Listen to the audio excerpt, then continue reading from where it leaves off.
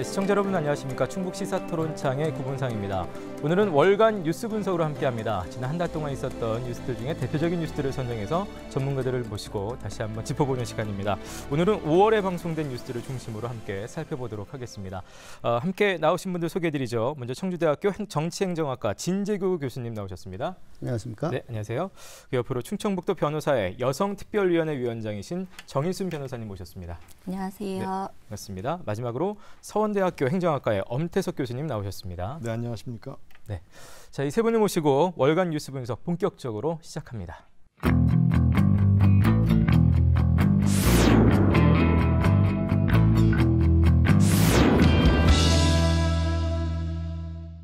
청주시의회 임시회 본회의 박완희 시의원은 청주시는 43개월째 아파트 매매 지수가 하락하고 있는 미분양 특별관리지역이라며 이런 상황에서 8개 도시공원의 30%를 개발하고 아파트 1만 2천 가구를 짓겠다는 것이 온전하냐고 지적했습니다. 실질적으로는 민간임대 아파트로 전환한 것들을 합치면 2만 세대 가까이 될 겁니다. 어, 공공임대 아파트 또 4천 세대 가까이 또 들어오지 않습니까? 답변에 나선 한범덕 청주시장은 박 의원 주장에 동의하지 않았습니다. 미분양 물량은 매달 감소 추세고 2025년까지 해마다 6천에서 1만 가구의 공급이 필요하다고 주장했습니다. 꾸준한 공동주택의 공급은 주택 시장 안정을 위해서 반드시 필요한 사항입니다. 대안으로 거론되는 구룡공원 사유지 매입의 경우 투입될 세금의 계산법도 달랐습니다. 박 의원은 공시지가를 토대로 1천억 원이면 충분하다며 청주시가 주장하는 2,100억 원을 꼬집었고 한 시장은 최근 조성되는 공원들은 더 많다고 맞받았습니다. 한편 시민사회단체들은 청주시가 최근 구룡산 개발 사업 공고를 낸 것과 관련해 시민 의견을 수렴하지 않은 졸속 행정이라며 비판했고 청주시는 행정 절차를 더 지체할 시간이 없다며 강행 의지를 보였습니다. 네. 자, 오늘 첫 번째로 다뤄볼 뉴스는 아, 이제 내년 7월로 다가왔죠. 도시공원 일몰제 관련한 소식입니다. 저희 어, 시사토론 창에서도 한번 다룬 적이 있습니다만 세 분 일단 영상 뉴스 현재 어떻게 보셨습니까? 우선 뭐 많이 논의되고 있지만 도시공원 일몰제에 대해서 잠깐 간략히 말씀을 드리면 네. 1999년도에 헌법재판소가 공원으로 지정된 부지를 아무것도 하지 않은 채 장기간 방치하는 것은 토지 소유권자의 재산권의 침해다라는 이유로 헌법 불합치 결정을 했고 예. 당장 위원으로 생, 어, 선언을 하면 법적 혼란이 가중되니까 20여 년이라는 시간을 줘서 어, 공원으로 조성을 하던지 아니면 지정을 해제하라라는 결정을 한 것에 따른 것이고 그렇게 네. 되면 내년 7월부터 순차적으로 도시공원에서 해제되는 땅들이 예. 생기게 되면서 이런 논란이 불거진 것입니다. 네, 진 교수님 어떻게 보셨습니까? 예, 그러니까 20년 동안 그 대비할 시간을 준 거죠.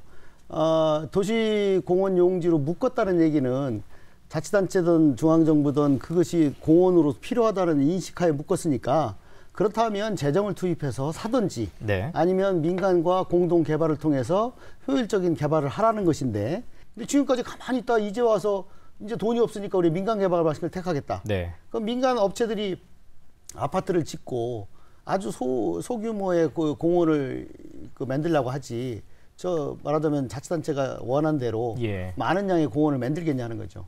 그러면 그 개발 방식에 의해서 당초에 공원을 조성하겠다는 취지는 사라지는 거죠. 어, 이제 구체적으로는 조금 전에 이제 화면 나왔습니다만 뭐 시민단체를 필두로 해서 도시공원은 좀 지켜야 된다는 입장, 위세먼지라든지 뭐 난개발에 대한 특히 이제 미분양도 많다라는 부분에 대한 이제 우려가 있는 거고요. 반대로 이제 청주시의 경우는 어, 30%의 민간 개발하는 것이 어떻게 보면 가장 현실적으로 어, 이 어떤 전체적인 것을 지켜낼 수 있는 방안이다. 그래서 지금 이 양측의 의견차가 좀 좁혀지지 않고 있는 상황인데요. 이에 대해서 어떻게 생각하시나요? 청주시의 방안이라든지. 아니 법상 30% 예. 이상을 그 개발할 수가 없어요. 청주시가 어, 재정이 없으니까 어, 민간 개발 방식을 통해서 어, 아파트를 많이 짓고 나머지 70%를 공원을 개발해서 기부채나 받겠다고 하는 발상인데 이거는 가장 마지막으로 하는 방식이고 대부분의 경우 20년 동안 재정을 투입해서 그 용지를 사들였어요. 그래서 그 공영 개발 방식으로 어, 시에서 그 공원을 개발해 왔죠. 근데 청주시는 지금 와가지고 가만히 있다가 막판에 몰리니까 이제 이제 와가지고 민간 개발 방식을 택하겠다고 하는데 이게 두 가지 문제 있죠. 아까 말한 대로 어, 공원이 제대로 어, 조성되지 않을 거라는 우려와 예. 또 하나는 청주시에 이제 인구가 많지 않다 보니까 아파트가 대거 져서 미분양 사태가 있잖아요. 예, 예. 이 미분양 사태까지도 이, 이루어지는 거죠. 그러니까 과거와는 또 다른 측면이 뭐냐면 기존의 아파트 소유주들은요. 이 방식이 기존 지역의 아파트 값을 하락시킬 거다. 미분양을 가속화시키다. 이 부동산 문제까지 이제 결부가 돼서 네네. 두 가지 이제 그 문제가 발생하게 되는 거죠. 예. 헌법재판소가 준 시간은 20년이었거든요. 네. 그 기간 동안 서울시나 성남시와 달리 청주시는 별다른 노력을 기울이지 않았다는 데 비난의 초점이 있는 것 같고요. 더군다나 예. 광주 같은 경우에는 그 개발 비율을 10% 정도 10%보다 적은 걸로 민간 거버넌스에서 결정이 됐고 예. 제가 보기에도 10% 20%만 해도 분명히 여기 개발할 할 분들이 신청하실 겁니다. 근데 법에서 할 수 있는 최대치를 해놓고 이게 지금 와서 최선이다. 음. 그렇지 않으면 난개발된다라는 논리는 사실 30% 개발하면서 거기서 아파트 4천 세대 가 지어지는 것도 그걸 뭐 난개발이 아니다라고 말할 수 없지 않습니까? 그래서 조금 노력을 그 지금 구룡공원 구룡 공원 내에도 국경 유지도 있습니다. 근데 이런 거를 제외하고 30%를 한다든지 아니면 광주처럼 비율 자체 개발 비율 자체를 좀 더 내린다든지 이런 다각도의 접근이 필요한데 일방적으로 공표하니까 이 부분에 대해서는 좀 아쉬운 생각이 듭니다. 예. 어, 청주시로서도 뭐 만약에 아까 재정 자립도 말씀하셨습니다만 정말 넉넉했다면 이런 것들을 해결해 나갈 의지가 있을 수도 있었을 텐데 결국은 이제 현실로 돌아오면 이제 재정 돈에 대한 문제가 좀 있는 것 같습니다. 그래서 이런 부분에 대해서 주민들이 스스로 어, 공원을 좀 지키고 민간 개발을 막아보겠다라는 아, 일명 이제 내셔널 트러스트라는 운동을 지금 얘기를 하고 있는데요. 어, 이와 관련해서 준비된 화면 보시고 와서 얘기 듣겠습니다. 일본 도쿄시와 사토야마현 사이의 녹지인 사야마구름. 급격한 도시화로 1980년대부터 개발 압력을 받아왔습니다. 사라져가는 숲을 위해 주민들이 생각해낸 건 일본의 국민 애니메이션 토토로. 미야자키 하야오 감독의 도움을 받아 사야마 구릉을 토토로 숲으로 이름 짓고 이를 지키자는 국민 신탁 운동을 벌였습니다. 전국적으로 1억엔, 우리 돈으로 10억 원 이상을 모아 숲을 사들여 보존했습니다. 이 같은 숲 지키기 운동이 도시공원 일몰제로 개발 압력을 받고 있는 청주 구룡산에서도 벌어지고 있습니다. 시민 1구자 만원 내기 모금을 시작한 구룡산 지키기 대책위는 10일 만에 3천만 원 상당을 모았습니다. 특히 지난 2011년 두꺼비 서식처인 원흥이 방죽 인근 포도밭을 매입했던 한국 내셔널 트러스트도 동참합니다. 내셔널 트러스트 운동을 도시공원에 적용하는 것은 국내에선 처음으로 활동을 전국화한다는 계획입니다. 구룡산 일대 예상되는 아파트는 4천여 세대, 대책위는 이를 막을 우선 매입비로 300억 원을 예상하고 있습니다. 정치권에서도 도시숲 지키기 운동에 동참하는 행렬이 이어지고 있는 가운데 시민의 힘이 구체적인 결과로 이어질지 관심이 모아지고 있습니다. 네. 어, 결국 시민들께서 직접 나서서 어, 돈을 모아서 이걸 지켜내겠다는 의지의 어떤 운동이 되겠는데요. 어떻게 보셨습니까? 일단 이게 현실 가능성이 진짜로 있을까요? 예, 교수님. 그 지방자치 시대에 가장 중요한 건 주민자치 정신을 살리는 겁니다. 그 주민자치 정신이라는 것은 주민들이 시정에 적극적으로 참여해서 의사 표현을 하고 그래서 행정을 좋은 방향으로 유도하거나 이제 그런 게 가장 좋은 방안인데 그 내셔널 트러스트 국민 신탁 운동이라는 것은 공적인 영역과 대립적인 차원의 것이 아닙니다. 정부가 못하는 것, 하기 어려운 것, 지자체를 돕는 의미에서 그런 의미로 가야지 지금처럼 중앙정부나 지방자치단체가 노력을 하면 할 수 있는 부분이 안 돼서 이렇게 운동으로 간다는 것은 국민의 한 사람으로서 시민 한 사람 안타까운 현상인 거죠. 그리고 지금 그 100억 목표, 300억 목표로 출발을 하는데 그 전국적인 단위에서 지원을 한다 그러는데 시민공원의 문제가 청주시만의 문제가 아니거든요. 이게 예. 청주시만의 문제가 아니고 지금 들어간 들어가는 예, 예산들 보면 최하 뭐 800억, 1000억, 그다음에 뭐 3,800억 뭐 단위들이 이렇습니다. 국민들이 먹은 말씀 돈이 얼마나 되겠습니까? 국민신탁 굉장히 좋은 운동입니다. 그런데 이 정말 기하급수적으로 늘어나는 예산을 가, 감당할 수 있겠느냐? 전향적으로 지방자치단체의 여력이 되는 대로 또 저는 중앙정부가 지방에다가 권한을 좀 이양해서 재정적인 여건을 좀 더 보충해주고 확충해주는 예. 방안 동시에 가야 된다고 봅니다 저는. 예. 그래서 지난 5월 28일 날 그 중앙정부하고 이제 그 당에서 민주당에서 어, 공원 조성 지방채 이자를 감면해주겠다 어, 이런 그 안을 내놨어요. 그 얘기는 예. 무슨 얘기냐면 이미 이게 청주시의 문제만 아니라 아주 그 재정력이 좋은 일부 자치단체를 제외하고는 나머지 자치단체들도 상당히 심각한 문제이기 때문에 예. 이 도시공원의 그 보존을 위한 여러 가지 재원상의 어려움을 해결해 주기 위해서 앞으로 5년간 공원 조성을 위한 지방채를 발행할 경우에 아, 이자를 최대 70%까지 에, 감면해 주거나 지원해 주겠다 하는 어, 당의 이 당정안에 나왔거든요. 그렇다고 하면 이제는 청주시가 어, 어렵다만 할 게 아니라 예. 중앙정부와 그 협의를 통해서 좀 더 적극적으로 공원 조성에 대안을 마련해야 될 것이다.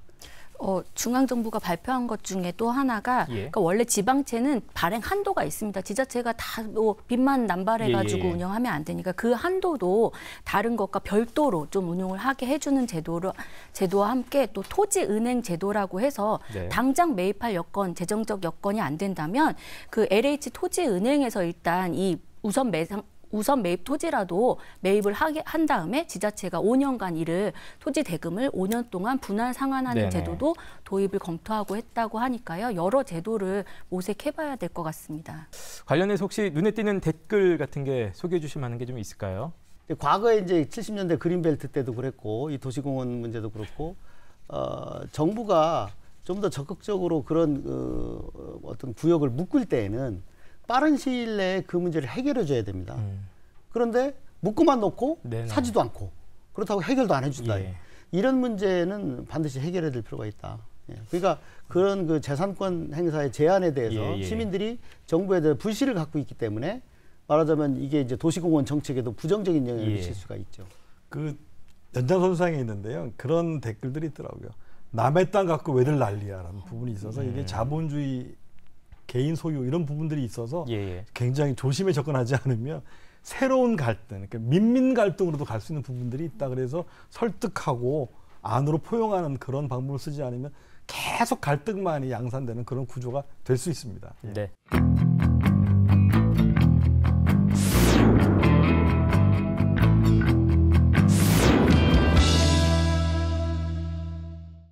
취소는 부당하다는 업체 측 주장이 다시 받아들여졌습니다. 항소심 재판부는 소각로에 폐기물을 단순히 더 넣어 태우는 것은 변경 허가 대상이 아니라는 원심을 그대로 인정했습니다. 특히 피고 청주시의 상급 기관인 환경부가 그동안 과다 소각 행위를 규율할 조항을 규정하지 않고 혼란을 야기한 만큼 재판부가 확장 해석할 필요성도 없다고 덧붙였습니다. 재판부는 다만 이 사건과 별개의 처분을 할 수는 있을 것이라며 여지를 남겼습니다. 지역 주민들은 실망을 넘어 참담함을 감추지 못했습니다. 주민들이 원하는 부분들을 재판부에서 꼭 해줄 거라 이런 믿음이 가갖고 매 재판 때마다 참여를 하고 그랬었는데 기분이 참담합니다. 청주시는 즉각 상고 의사를 밝혔습니다. 판결문을 정확하게 분석을 해봐야 되겠지만은 분석을 통해서 어, 대법원에 그 상고할 그 계획으로 갖고 있습니다. 또 재판부가 별도 사건으로 다뤄야 한다고 한 소강로 증설은 공소시효가 없는 속임수에 의한 허가로 보고 후속 조치 검토에 들어갔습니다. 네, 영상 함께 보시고 오셨습니다. 아, 저희가 이제 전에도 다뤘던 이제 폐기물 업체 관련한 소식인데 더 정확히는 폐기물 업체와 청주시 간의 이제 소송에서 어, 청주시 측이 계속해서 이제 패소하는 결과가 지금 연달아서 나오고 있는 부분에 대한 얘기거든요. 영상 보신 어, 소감이랄까요? 어떻게 보셨습니까?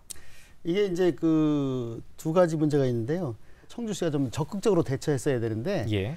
어, 법 적용을 잘못했다든가 또는 그 이후에 변화 사항을 제때제때 반영하지 못했다든가 이 소송 과정에서 행정기관의 그 무사한이람이라든가 무능함이 이제 제대로 드러났는데 예. 어, 이런 그 무사한이라는 행정기관에다가 또 법정을 너무 엄격하게 해석하다 보니까 사실상 이 그 해당 업체가 범법 혐의를 저, 저질러서 검찰에 기소된 상태이고 여러 가지 형태의 그 부작용이 나타났음에도 불구하고 고 행정처분이 법 적용이 잘못됐다는 사안만 보고 어, 형식 노능에 얽매여 가지고 판결을 내렸다는 거죠. 예. 만약 그 지역이 소각장이 있음으로 해서 주민이 입는 피해를 법관이 한 번이라도 현지에 나가서 봤으면 이런 어, 판결이 나올 수는 없어요.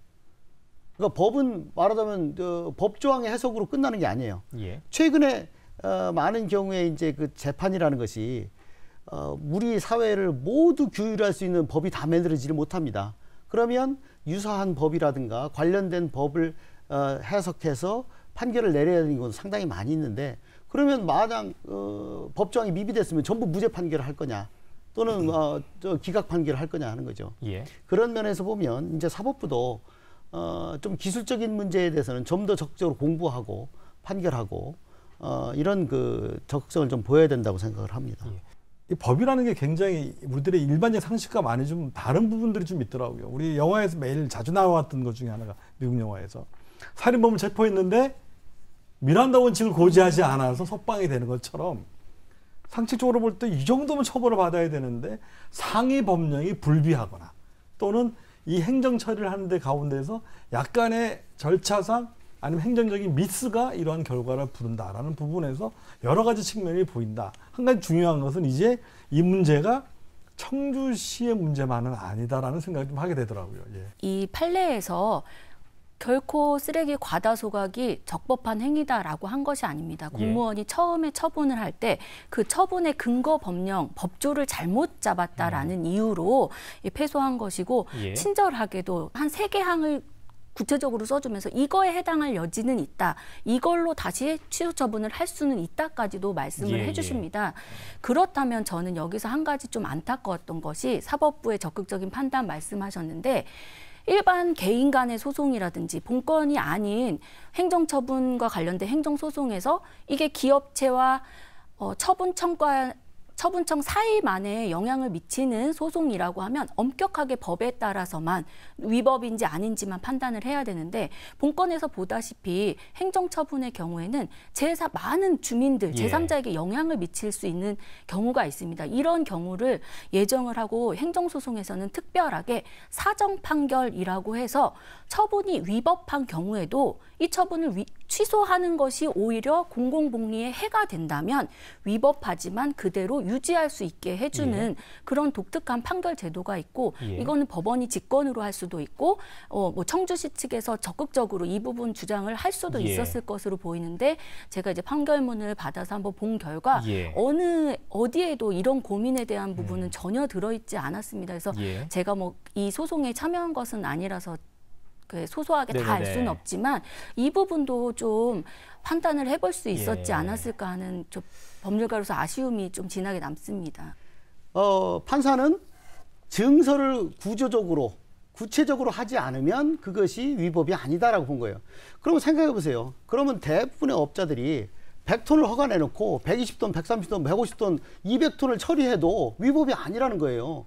그런 식으로 해석을 한다 보면 어, 많은 소각장 업체들이 이 판결을 근거로 해서 어, 사실상 허가 낸 용량보다 더 많은 처리를 할 것인데 그런 것들을 가만히 눈 감아 줄 수는 없는 거죠. 예. 일반 사람들이 이런 겁니다. 어떤 사람한테 맞았어요. 그럼 내가 저 사람을 폭행죄로 고발해야 될지 뭐 다른 죄로 고발해야 될지 몰라요. 그냥 고발을 합니다. 제가 나를 때렸다는 사실만 가지고 고발하지 어떤 법을 적용해 주세요 고발은 못 합니다.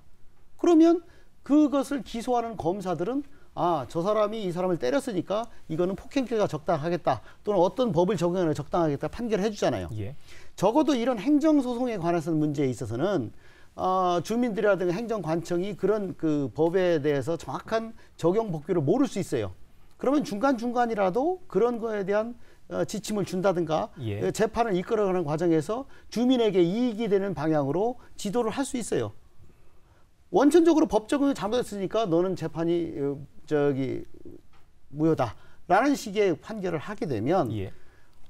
그 전문가 아닌 사람들은 누구에게 기댈 수 있겠습니까? 예, 정교사님. 이 부분은 예. 법적으로는 소송에서는 엄격하게 처분권주의, 변론주의라고 해서 당사자가 주장하는 부분에 대해서 판결을 하, 하게 돼 있고 성, 그럼에도 불구하고 법원이 지금 진 교수님 말씀하신 것처럼 좀 애매한 부분에 대해서는 성명권 이라고 해서 어, 쌍방에게 어떤 부분에 대해서 미진하 주장이 미진하거나 한 부분에 대해서 밝혀라라고 명령하실 수 있는 범위는 있는데 당초에 적용되었던 근거 법조를 바꿔라라고 예. 말 그 재판부에서 지휘하기에는 좀그 예, 예. 범위를 넘, 넘을 수 있었다. 그래서 오히려 저는 이런 부분을 충분히 소송이 진행되는 과정에선 청주시도 예. 적용 법조에 문제가 있을 수 있다는 부분에 대해서는 인지를 하실 수 있었기 때문에 예, 예. 중간에라도 별개의 처분 사유 적용, 적용 법조로 해서 새로이 처분을 하셔야 되지 않았나. 그리고 항소심에서 또 처분 사유를 추가하신 부분이 소강로 증설 부분도 있습니다. 근데 항소심 재판부에서는 이것이 당초 애초에 허가 불허가 처분 취소 사유에 동일성이 없다라는 예. 이유로 이 부분은 배척을 하셨거든요. 그렇다면 처분 사유를 추가할 수는 없지만 이 이유로 새롭게 처분을 하는 예. 것은 가능하시니까 청주시가 음. 오히려 재판부보다는 예. 청주시가 안일하게 예. 대처하신 것이 아닌가 하는 생각이 예. 듭니다. 날이 갈수록 이제 사회가 복잡해지면서 다양한 그 현상들이 벌어지고 이전처럼 주민들께서 잘 안 참으십니다. 즉각 행정소송을 제기하거나 항의 표시를 하시거든요. 그런데 과연 지금 이러한 상황을 감당할 정도의 인력이나 법적인 시스템이 있느냐라는 것도 한번 볼 필요가 있습니다. 그러니까 굉장히 사건이, 예, 예, 굉장히 여러 가지 사안들을 다루는데 제가 제가 알기에는 변호사를 고용해서 지금 아마 직원으로 쓸 수 있다고 봐도 한 분 정도 있고 아마 외부에 자문 변호사를 두고 있을 거라고 생각을 하고 그리고 행정을 할 때 일부 자문을 구하겠습니다만 그것을 감당할 수 있는 정도의 상황인가라는 생각을 하게 되고요. 또 민간 영역의 변호사들은 진짜 엄청난 보수를 받고 한두 건에 예, 예. 몰입을 할 수가 있는데 그 지금 청주시의 법률 자문 내지는 소송 담당자가 음. 이 정도로 할 수 있을 만한 상황이 있는지가 한번 의심스럽기도 하고요. 그래서 첫 번째는 타이밍에 맞게 절차에 맞게 원칙에 맞게 행정 행위를 하는 것이 중요한데 그 뒤에 사후에 문제가 생겼을 때 이제 나쁘게 말하면 이게 이제 변이 되는 거예요. 아, 우리가 소송을 했다. 우리가 사법부 판단을 맡긴다. 아마 기관장들이 가장 쉽게 대처하는 게, 아, 그러면 법정에 가야지라는 걸로만 간다 그러면 뭐 수도 없는 소송을 치를 겁니다. 중앙정부도 지금 그렇습니다. 중앙정부도 뭐 각 부처마다 소송들이 뭐 수백 건씩 걸려 있더라고요. 이런 측면에서 좀 한번 시스템 자체를 네. 한번 다시 한번 봐야 될 것 같습니다. 대부분의 경우에요. 네. 어, 행정법원에서 행정소송의 정부 승소율이 대부분 높습니다. 근데 이번에는 정부가 졌어요. 예. 이거는 무슨 걸 의미하냐면 상당히 행정 그 저기 청주시가 어, 수동적으로 이 소송에 대응했거나 충분히 할 수 있는데도 불구하고 안 했다는 것이 의심이 갑니다.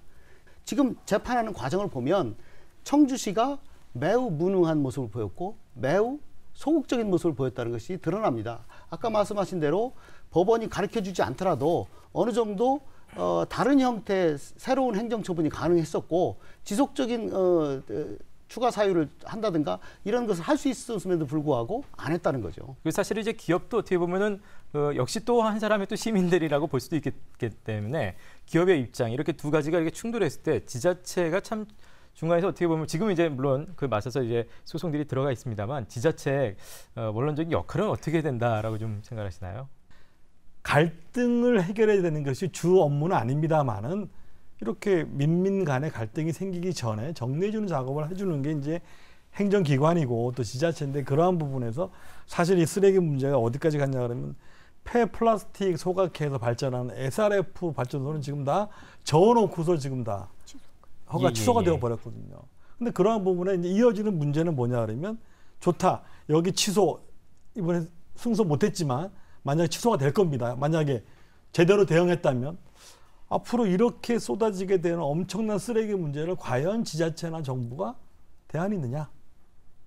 저는 그것까지 물어보고 싶어요. 이렇게 해서 소각장 허가 취소, 그 다음에 건축 취소 성공했다 이겁니다. 앞으로 어떻게 할 거야? 근데 아까도 예. 말했지만 청주시에는 예. 청주시에서 나온 쓰레기를 소각하는 정도의 분량이라고 하면 주민들이 감내를 해요.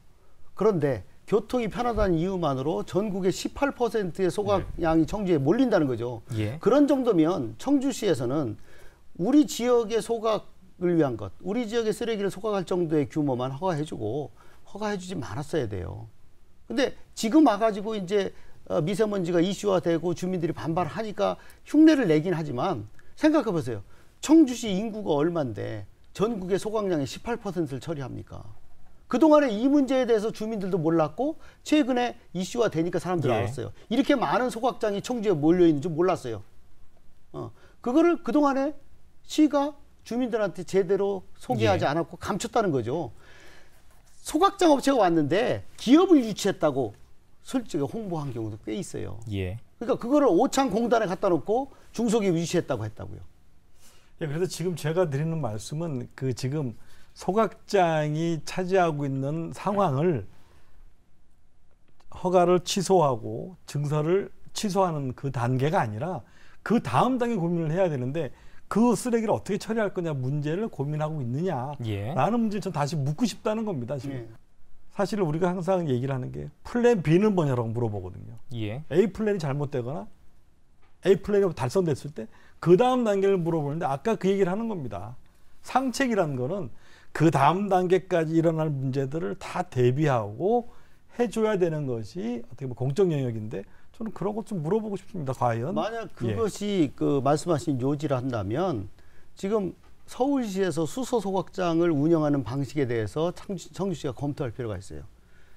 수소 소각장의 경우에는 그 소각량에 반입되는 그 쓰레기의 내용물과 규모라든가 이런 것들을 주민 감시원에서 다 감시하게 돼 있어요. 근데 지금은 민간 소각장의 경우에는 아무도 예. 그거에 대해 감시를 못 합니다.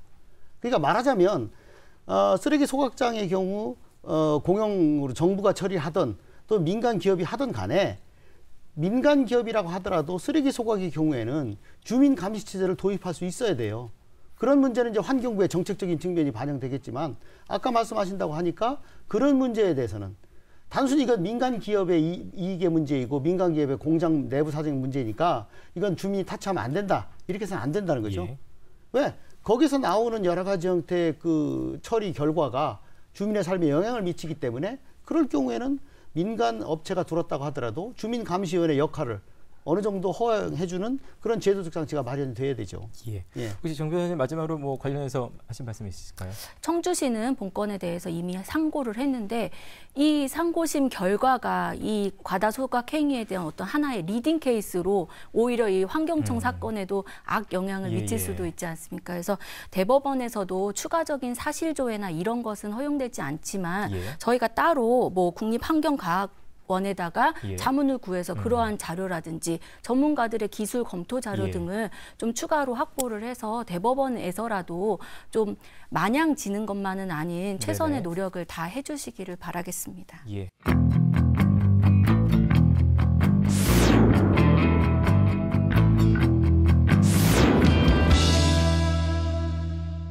자, 다음은 어, 최근에 충청북도 인사청문회 도입 문제가 본격적으로 논의가 되고 있습니다. 이 관련해서 영상 보시고 오시겠습니다.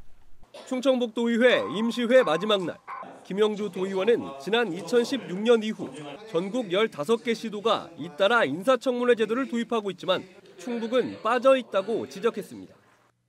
충청북도 산하 공기업과 출자 출연 기관에 매년 막대한 예산을 투입하면서도 기관장의 자질을 검증할 수 있는 절차는 없다는 겁니다. 보은, 정실 인사를 막기 위해 반드시 필요하다며 지사의 분신으로 불리는 정무부지사도 포함하자고 제안했습니다. 그동안 반대했던 이시종 지사는 긍정적으로 검토하겠다며 4년 만에 바뀐 입장을 내놨습니다. 늦게나마 도입이 급물살을 타면서 청문 대상 등 세부 기준을 마련하기 위해 열린 토론회.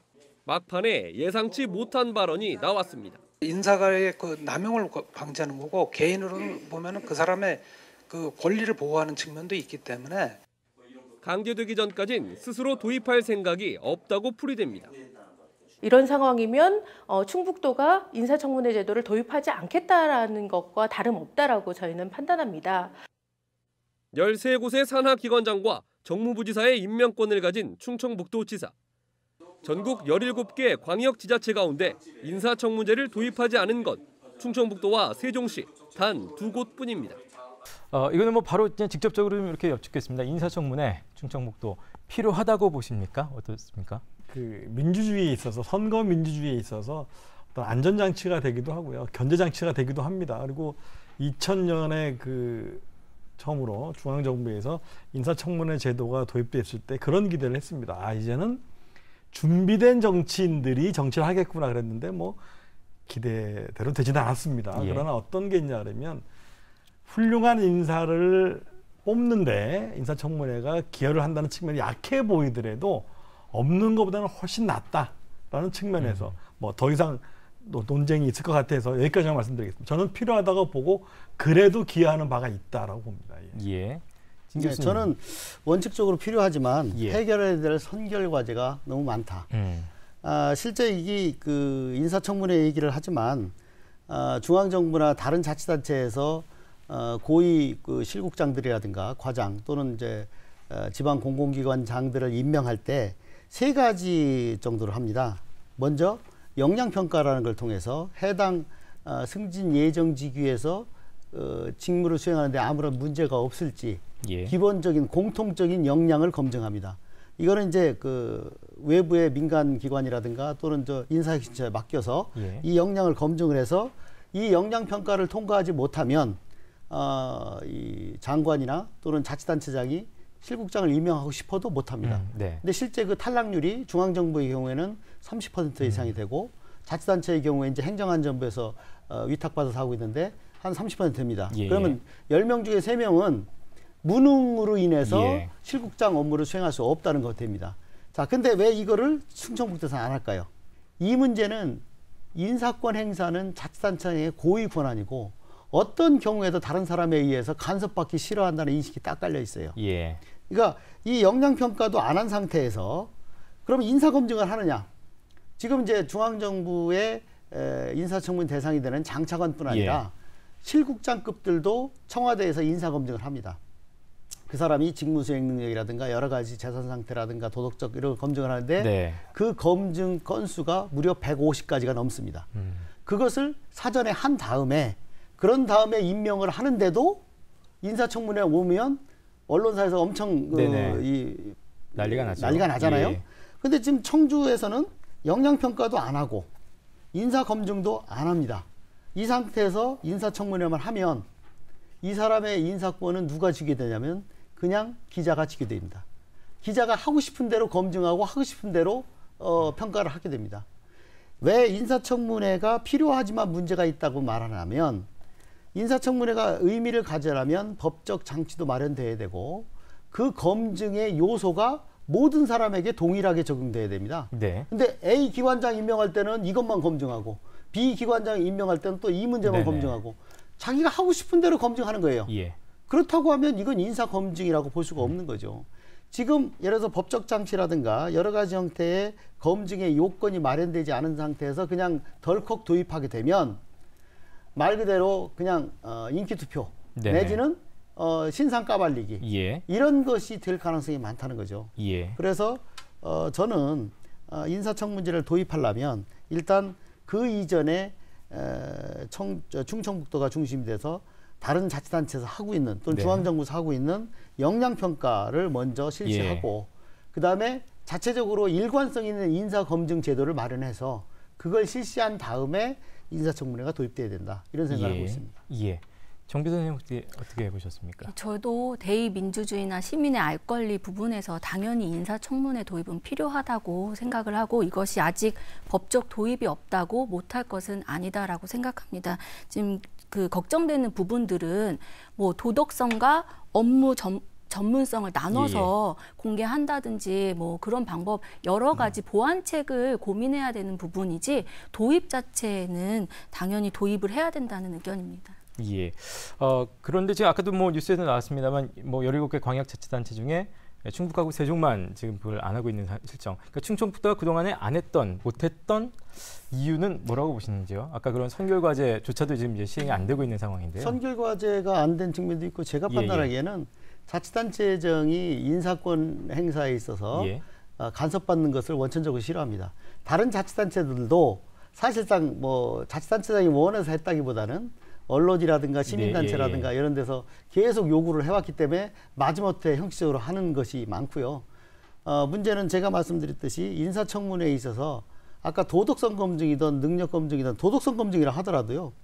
똑같은 사안을 가지고 A 기관장을 검증할 때는 침수봉대가 되고 네. B 기관장을 검증할 때는 어, 거론조차도 안 되고 이런 음. 그 형평성의 문제가 발생할 수 있기 때문에 저는 인사청문회 검증을 할 때는 어, 이미 충청북도가 미리 예, 예. 검증의 요소라든가 검증의 방식이라든가 이런 것들에 대해서 원칙을 내세우고 예. 그것에 대한 시민적인 합의가 있은 다음에 해야 된다는 거야. 예. 지난번에 중앙정부에서 뭐 7대 불가 사유를 냈음에도 불구하고 그것조차 가지고도 논란이 됐던 이유 중에 하나가 똑같은 사안을 가지고 A라는 후보자에게는 어, 정당의 정략적 공격에 의해서 아주 엄청난 공격을 예, 예. 받고 또 B라는 사람은 별로 문제를 안 삼는 경우가 있기 때문에 이 인사청문회가 어, 잘못하면 정당 간의 정쟁 현장으로 예. 어, 전락할 우려가 있다는 겁니다. 그런 측면에서 좀 우려할 필요가 있다는 겁니다. 이런 걱정도 합니다.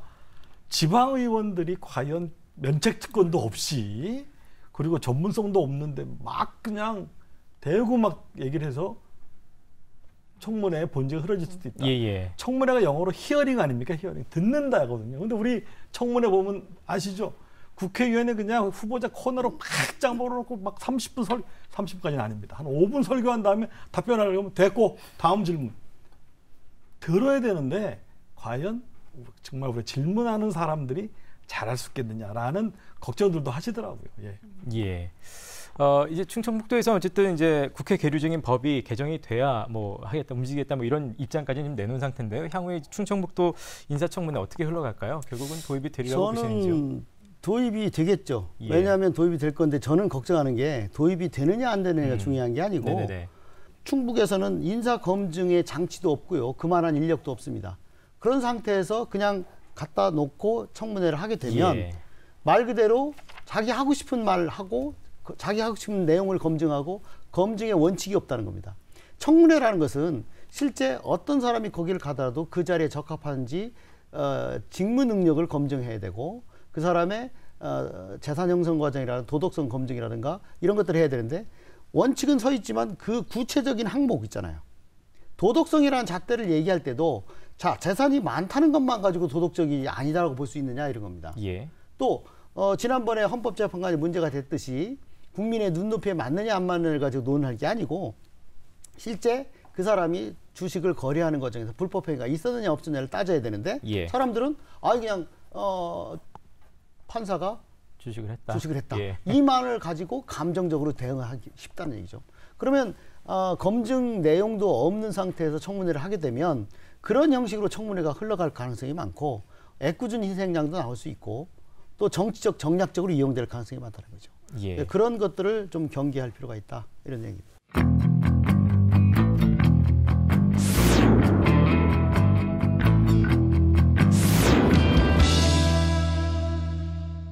구급차 두 대가 잇따라 골목길을 빠져나갑니다. 오늘 새벽 5시 반쯤 23살 윤모 씨가 자신이 살던 원룸 복도에서 흉기를 휘둘러 출동한 경찰과 사설 구급대원 등 모두 3명이 다쳤습니다. 윤 씨는 조현병으로 입원과 퇴원을 반복하길 여러 차례. 1년 전부터는 집에서 나와 혼자 살고 있었습니다. 출동한 경찰의 설득에 순순히 따르는 듯 보였던 윤 씨는 돌연 흉기를 휘둘러 미처 막을 틈도 없었습니다. 환자하고 이제 경찰분이 얘기를 했어요. 얘기를 했는데 문 열고 나온다고 이제 그래가지고 앉으면 됐었죠. 나온다니까. 그때 이제 문 나오면서 그렇게 테이저건을 맞고서야 난동은 끝났고 경찰은 안정을 위해 윤 씨를 입원시켰습니다. 경찰 조사 결과 윤 씨는 지난 2015년에도 병원에서 난동을 부렸던 것으로 알려졌습니다. 네, 이 최근에 나왔던 이제 조현병 환자의 어떤 난동에 관한 뉴스인데요. 뭐좀 넓게 생각한다면 정신질환자에 대한 난동 이것들이 요즘 꽤 뉴스로 나왔습니다. 어, 뭐 화재 사건, 큰 화재 사건이 좀 있기도 했었고요. 어떻게 보고 계셨습니까?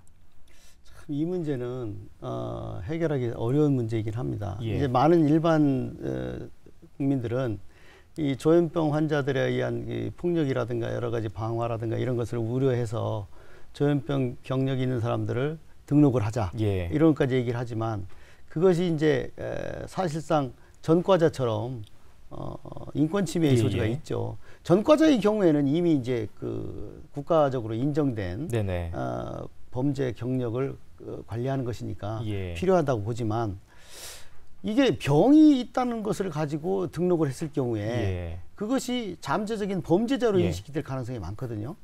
그러니까 이런 겁니다. 우리 사회 같은 경우는 이제 사회복지적 차원에서 지적장애인을 등록하잖아요. 네. 이 지적장애인을 등록하는 것이 지적장애인에게 도움을 주는 방향으로 이용이 돼야 되는데 그 지적장애인 등록증을 갖고 있으면 사기꾼들에게 표적이 된다든가 음. 악용되는 사례가 상당히 많이 있다는 거죠. 예. 그래서 이런 그 정신병력 환자라든가 이런 그 경우에 이것을 등록제로 해서 사람들이 대비할 수 있게 하자 이런 극단적인 얘기가 나오고 있는데 그런 문제에 대해서는 좀 더좀 좀 국민적인 논의를 음. 거쳐야 되는 것이 아닌가.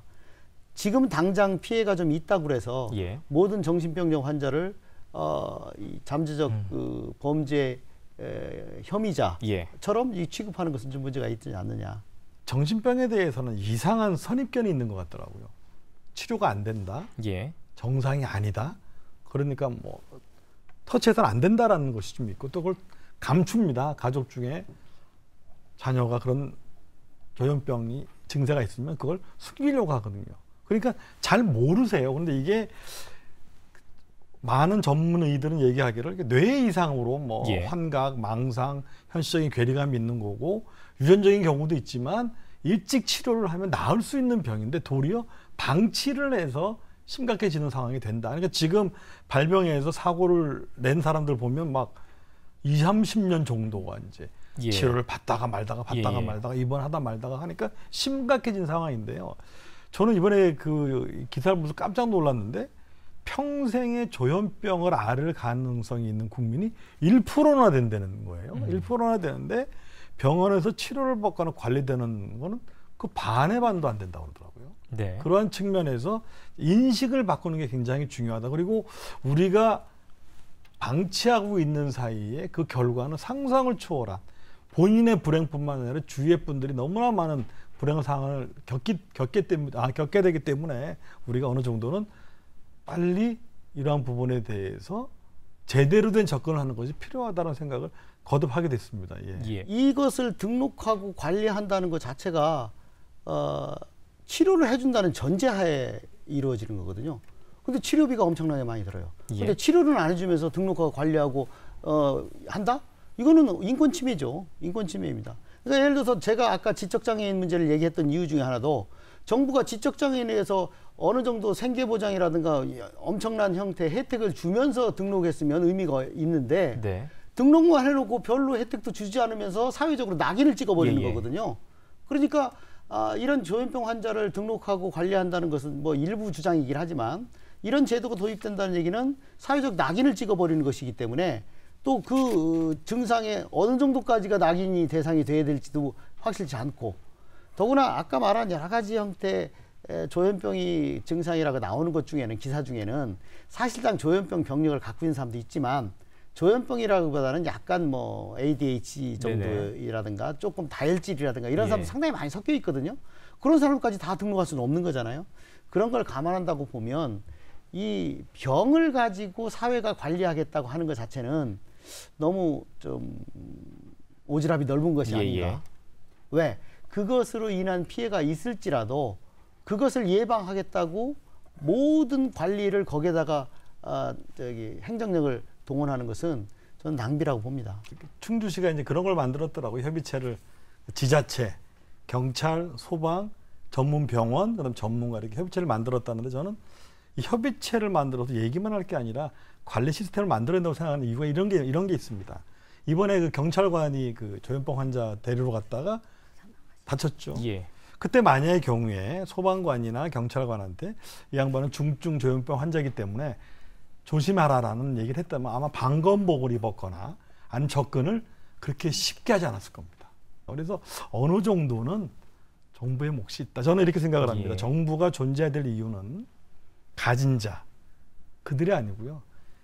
약자들의 편에 더 많은 관심이 있어야 된다고 보고 현재의 문제보다는 미래의 문제에 더 관심을 가져야 된다고 보거든요. 그러한 측면에서 조현병 환자가 어떤 식으로도 늘어날 개연성이 있는 사회지 않습니까? 점점 복잡해지고 혼자 나와서 외롭고 게임하면서 계속 좀 정서가 예. 불안해지고 예. 그래서 그러한 부분에서 좀 관심을 좀 가지고 네. 관리를 할 필요가 있다. 과거에 음. 형제 복지원 사건이라든가 이런 것들이 있었잖아요. 네. 그런 것들을 보면 정부가 보조금을 통해서 그런 그 불황자라든가 정신병자들을 어, 격리하고 이런 제도를 도입하면 그것으로 인해서 인권 침해를 당한 사람이 상당히 많이 나옵니다. 예. 더구나 그런 사람에 대한 판단이 아까 말씀하신 대로 이건 진짜 격리 수용이 필요한지 아니면 어, 중증이 아니어서 저 통원 치료 가능한 정도 수준인지 사실상 어, 조현병이 아닌 사람도 있을 수 있고 그런 판단을 누가 할 거냐 이게 누가 합니까? 정신의학자죠. 음. 정신의학자죠. 정신병을 운영하고 있는 사람들이 자기한테 유리한 방식으로 판단을 합니다. 예, 그럼 뭐 그러니까 그런 면에서 보면 아니 그러니까 일어날 수 예, 없겠지만 아니 그 과거에 있었거든요. 예, 그런 사람들이 협조를 했거든요. 예. 지금도 그런 사람들이 지금도 예를 들어서 예. 그런 걸 악용하는 사람들이 있고 그래. 실제 옛날에 삼천 교육들을 했더니 그 예. 자기한테 원한진 사람 멀쩡한 사람 삼천 교육에 집어넣었던 예. 사람도 있고 그런 상황을 감안하면 격리라고 하는 것은 사회적으로 어, 아주 극단적인 상황이 아, 제가 아니면. 표현을 다시 하겠습니다. 예, 예. 격리 치료 입원이 필요한 사람이라는 말이 더 맞겠네요. 음, 예, 제가 격리라 그러니까 그런데 입원 치료가 필요하고 어느 정도는 격리될 필요가 있다 이렇게 표현하겠습니다. 예. 지금 예. 논의되는 굉장히? 것도 모든 조현병 환자에 대해서 이들을 관리 등록해서 입원을 시켜야 된다 이런 것이 아니라 예, 예. 일부 조현병 환자들이 다 위험하다는 것이 아니라 전문가들이 말씀하시기에 치료받지 않은 조현병 환자는 위험할 수도 있다. 더군다나 그분이 망상이 있어서 폭력적인 태양을 드러낼 수 있으면 그 위험성은 커진다라는 부분에 대해서 언론이나 그 의학계에서 말씀을 하시는 거고 예. 제가 일선에서 있어 봐도 예전 한 10년 전만 해도 저희가 아 우리 피고인은 심신미약 상태, 네네. 정신분열증으로 인한 심신미약 상태에 있었습니다라고 하면서 정신 감정을 신청하는 것조차 드물었고 판사님들도 어, 뭐 그런 걸 한다고 이런 취지였다면 요즘에는 일년에 제가 정신감정을 신청하는 건이 매우 많습니다. 저희가 중요하고 흉악한 사례들만 TV로 봐서 그렇지 예. 실질적으로 뭐 심신미약 상태에서 손괴 절도부터 시작해서 성범죄, 폭행 범죄는 정말 어, 일선에서 느끼기에는 너무나 많이 예, 예. 늘어나고 있습니다. 그렇기 때문에 일부 근데 그렇게 늘어나는 부분에 대해서는 등록 관리가 안 되어 있고 치료를 안 받는 분들이 문제가 되니 정부가 나서서 이 미등록자 실태 파악을 해주시고 이에 따라서 치료가 필요하신 분 또는 입원이 필요하신 분들을 잘 선별해서 좀 일반 시민의 안전성을 확보할 필요가 있겠다라는 것은 저는 이제 그 정신적으로는 비전문가이지만 예. 범죄 적으로 연결해서 보면 꼭 필요하지 필요하지 않을까 하는 생각입니다. 마지막으로 혹시 댓글 관련해서 있을까요? 이 부분에 대해서? 이제 정부가 그, 그 조현병 치료에 대해서 요즘에 논의되고 있는 게 사법 입원 아까 걱정하시는 부분 때문에 네네네. 그러면 입원에 대한 판단을 법률로 개정하고 이에 대한 판단도 판사가 하게 하자라는 음. 논의가 있지 않습니까? 이제 그런 부분에 대한 댓글에서 그 진주 방화범 실명이 예. 이미 공개됐기 때문에 그거 저기 그것을 이용해서 이건 좀 아닌 듯 이런 음. 우스개 댓글이 있더라고요. 예. 예. 알겠습니다. 오늘 월간 뉴스 분석으로 세 분과 함께했습니다. 함께해 주신 세분 감사드립니다. 고맙습니다. 예. 예. 네, 지난 한 달 동안 지역민들의 주목을 받았던 아, 뉴스들 어, 전문가들 모시고 함께 풀어봤습니다. 월간 뉴스 분석 저희는 앞으로도 계속해서 더 깊이 있게 들여다보고 또 현실적인 대안을 찾기 위해서 노력하겠습니다. 시청해주신 여러분 고맙습니다.